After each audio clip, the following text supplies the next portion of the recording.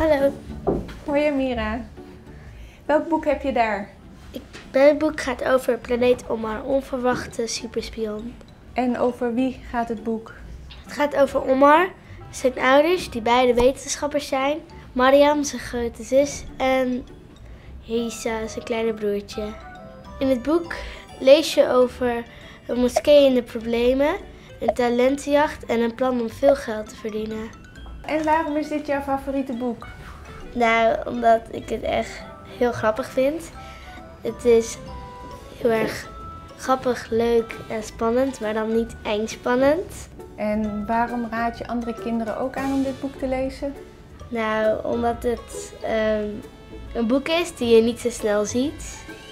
En ik geloof dat heel weinig kinderen dit gelezen hebben. Maar toch is het een leuk boek. Dus dan vind ik dat het wel een plekje moet krijgen. Dankjewel. Doei! Doei!